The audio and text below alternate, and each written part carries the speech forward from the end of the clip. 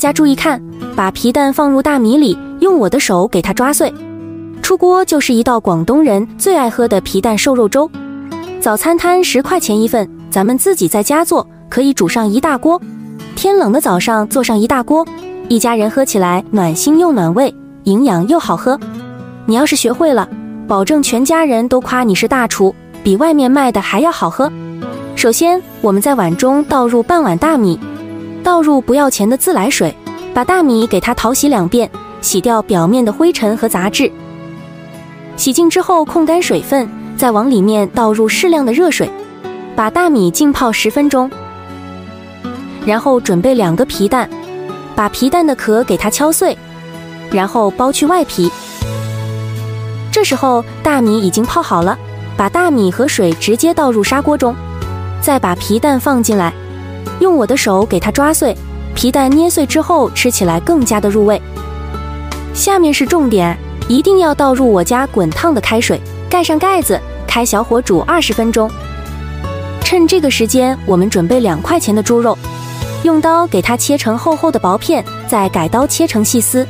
切完之后放入碗中，加入葱姜丝，一勺白色的食盐，一勺胡椒粉去腥，一勺料酒、玉米淀粉，一勺香油，用手充分的给它抓拌均匀，腌制十分钟入味。大米在煮的过程中，我们一定要经常给它搅拌一下，防止粘锅。准备一把小葱，给它切成葱花，小葱可以多来一点，喜欢吃青菜的也可以再切点青菜。切完之后先放一边备用。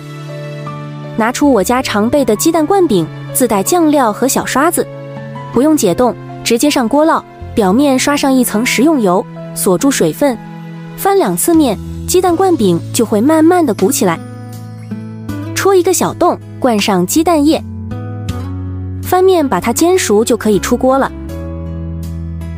刷上自带的酱料，放上生菜、火腿和黄瓜，自己想吃什么卷什么。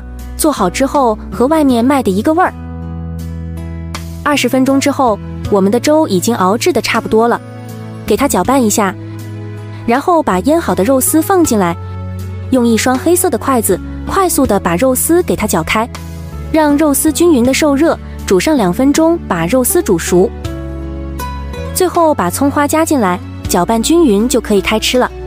用这个方法做出来的皮蛋瘦肉粥，吃起来咸香有味，汤浓味鲜，非常的好喝哦。就连我家挑食的孩子一次都喝了三大碗。再搭配上我们的鸡蛋灌饼。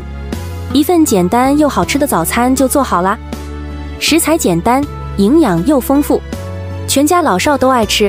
如果你也喜欢的话，就收藏起来，在家试试吧。